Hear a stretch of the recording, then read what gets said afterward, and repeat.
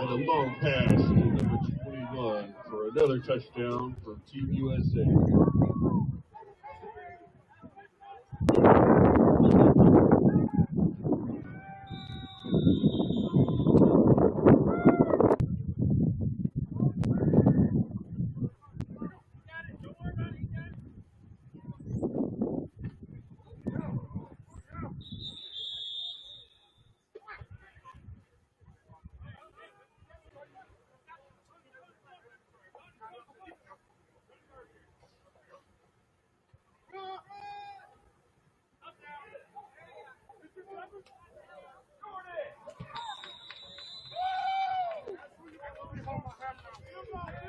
Touchdown for the USA International by number 27.